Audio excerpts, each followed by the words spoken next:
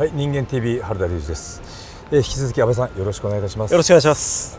もう目の前日本海で海のね潮騒が。そうですね、でこうこっちはあのもうこれ山岩肌なんですけども、ね。このフェンス沿いに歩いていくと、えー旧油とトンネルはい。と言われる心霊スポットがあるんですがそこが、えー岩手の MTV さんはい、マーシーさん。ね、マーシーさんが行ったことがあはいるということなんですが、なかなか恐ろしい場所だということで、ねみたいですね。えまあ、我々も、えーまあ、まっさらな気持ちで行ってみたいなと思いますでそれに並行してこっちには、まあ、こういうふうに今も車が通れるようなトンネルが伸びてるんですけど多分これに並行して、えー昔のそのいわゆる隧道がこう伸びてるということなんで、まあ、ここから入っていくということですから、まあ、ひとまず行ってみましょうか。そうですね。はい。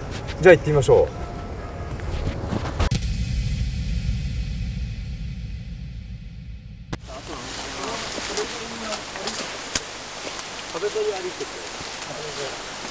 探検隊だな。う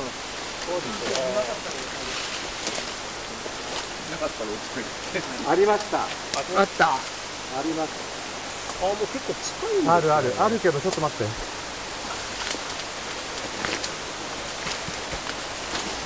うわこれちょっと恐ろしいぞこれ、うわこれ恐ろしいぞこれは、もうすげえインパクト。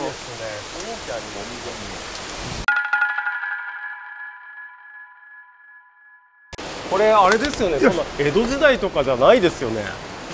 手彫りの、今声聞こえたもうですか？いや、今入り口いるんですよ、おじさん。声聞こえそうおじさんっぽい声おじさんいるんですよ、入り口に今。あれ、あの悪い人じゃないです。そう甲高いねおじさんの声はあ、いいいいいい方っすよ。すいません、こんばんおは。邪魔しますここっちここですここすぐ入り口ですどうもこんばんは。怖くな怖くないですが悪い方じゃないですね。うん。すごく。これちょっと危ないからみんなで行きませんか？これ心霊スポットっていうのはちょっと探検探検のニュアンスがあるかも。すいません入ります。どうもお疲れ様です。失礼します。あ今本当こちらにいらっしゃって。あそうですか。はいはいはい。あ今の入りましたはい入りました入りました。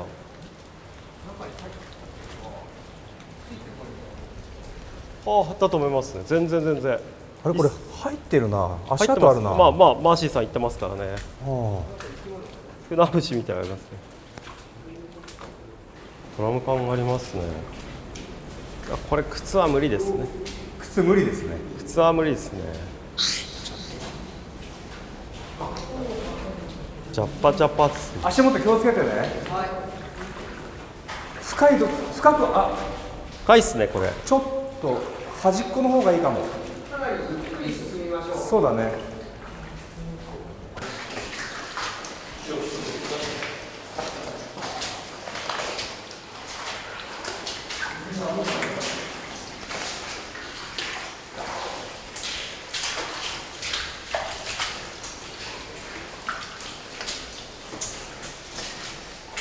不気味な感じはしないですね。あの俺たちが、はい。多分一発目に挨拶したからだと思うんですけあそうですか。どはい。それ関係してるんだ。これあると思います。工事現場のじゃあそれこそその、はい。頭だったような人なんでしょうかね。年齢で言うとまあ40代から50代の頭ぐらいだった。らちょうど俺らぐらいなんですけど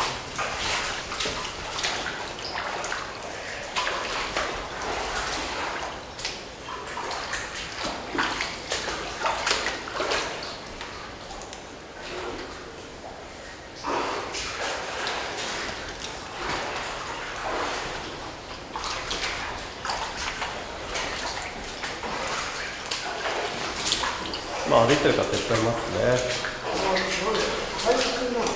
はい。これはあの雨水？雨水ですね。そんなに汚れてないですね。かに流れ出てますね。はいはい流れてますね。この雨だし。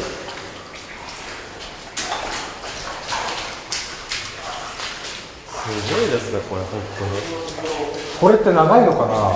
いや長いと思います。よ山向こうまで行っちゃうんで。え？そんな長いんですか？トンネルですからね。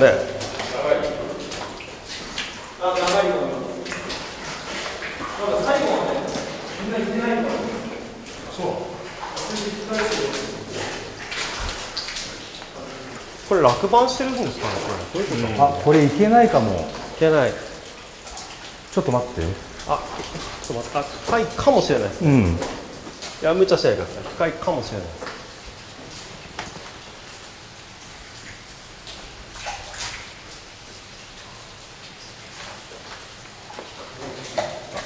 あのリュウさん右足の後ろの石がすごい尖ってるんで、ちょちょっと気をつけてください。これはい本当危ないんで。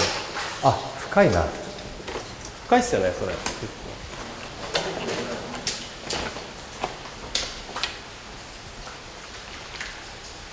あダメだまあここまでが限界ですね。ああ足気をつけてください。すごい尖ってるんで。でもまだ伸びてるよね随分ね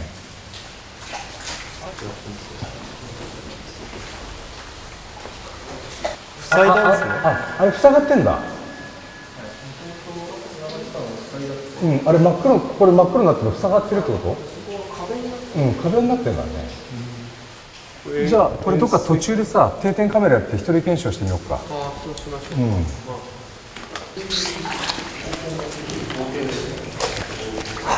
蒸し暑いな。挨拶したら何にもあって大丈夫でしたね。作業員ですね。俺江戸時代ぐらいなのかな勝手に思ってたんですけど全然ちょんまげも何にも言ってないおじさんがいたんでうんあれ？と思って。で聞いたんですよ。いつできたのって。昭和入ってからなんですね。もうスタッフの影は見えなくなりましたね。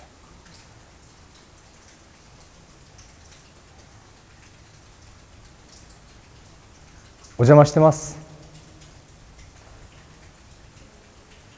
僕の声は聞こえますか？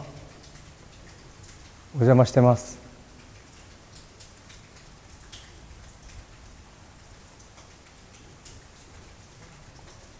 こちらのトンネルに誰かいらっしゃいますか？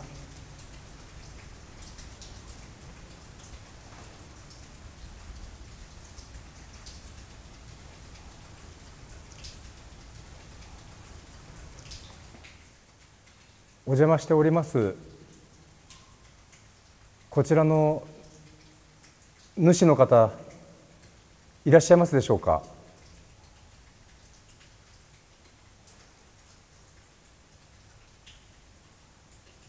どなたかいらっしゃいますか？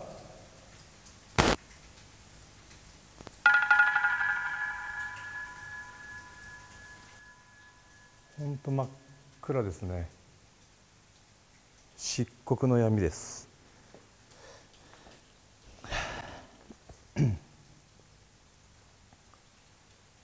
どなたかいらっしゃいますか？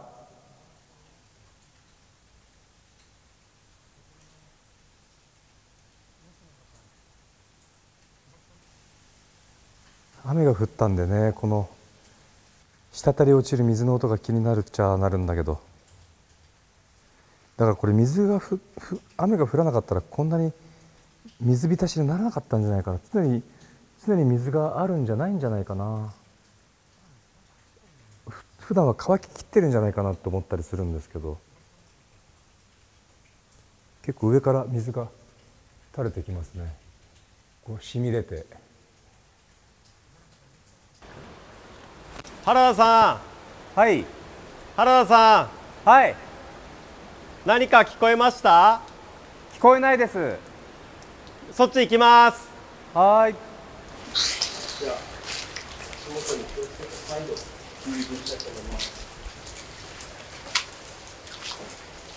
かっこいいですね。こうやって見ると。ライト持って洞窟を探検する探検家たち。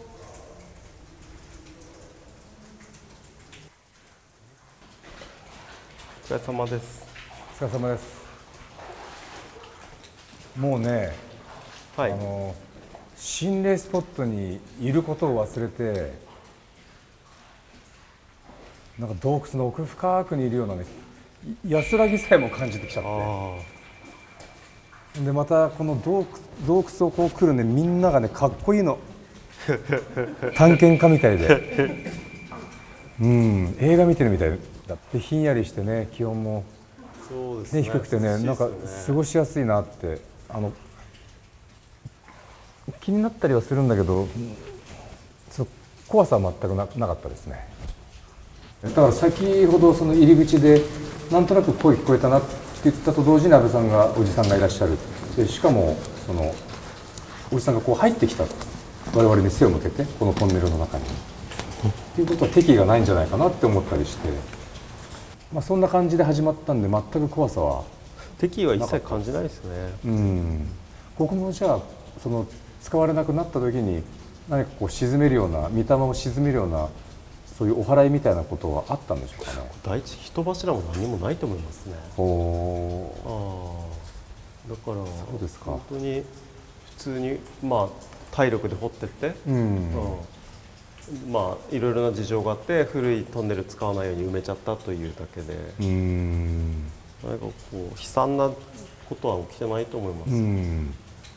ただ声はやっぱなんとなく聞こえたじゃないですか、はい。あお俺たち俺俺たち先に挨拶したじゃないですか帰りますみたいな。あ多分それが功を奏したのかなと思いますうん。けど急にこうずっと入ってくると声かけられちゃったのかなと思って、ななるほどね。ね昔の工事現場の人ですから、うん。気も荒いでしょうし、うん。うん。結構多くの YouTuber が割とここをなんか逃げ出したとかあそうそういう動画が多いんですけどいや逆にずっといたいぐらい。多分、うんいや挨拶し挨拶したからじゃないですか俺たちねうんあとこういう、ね、工事現場スタイルだし我々の心意気を受け入れてくれたっていうまあ感じ多分そうとなんですかね。思いますけどうん。まあこれも我々の検証結果ですからね。そうですねこれはこういう形で終わってもいいんじゃないかなと思いますけどもね。はいいいと思います、うん。その何か恐ろしさを追求する必要もないなっていうふうに僕は思いますね。まあ今まで数々のトンネル巡ってきましたけども、はい。その中でももう全くあの比べ物にならないぐらい怖さがなく逆にひんやりして居心地さえもいいななんて思ってしまうような、えートンネルだったんですけども安倍さん的にいかがでしたか、まあ入り口のおじさんにだけうん挨拶をすれば全く、あ今もまだいるんですね。あいらっしゃる。普通いにらっしゃるんですか？普通にいらっしゃいましたね、あうん、なのでエンジ色の服着てる方ですけども、うん、全然何もにこやかな方なので、ーうん。勝手に入ってなんかゴミ捨てたりとかする人いるから怒ってんじゃないですかね、うん俺たちには一切敵意がないです。あそうですか、うん。まあ、他の方がこうトンネルを訪れて怖い思いされたっていうねそんなこともあったみたいですけども、まあ、我々の検証結果としては、えー特別な、うん、ことがなく、そうですうね、ん、なんか恐ろしいっていうような雰囲気も漂ってなかったっていう、えーそんな感じなんですけどもね。うん。まあ。ということでひとまずこちらの、えー旧油とトンネル、はいはい、検証終わる終わってみたいと思います、ありがとうございます。どうもありがとうございました。ありがとうございました。引き続きまだありますはいよろしくお願いします。よろしくお願いします。よろしくお願いします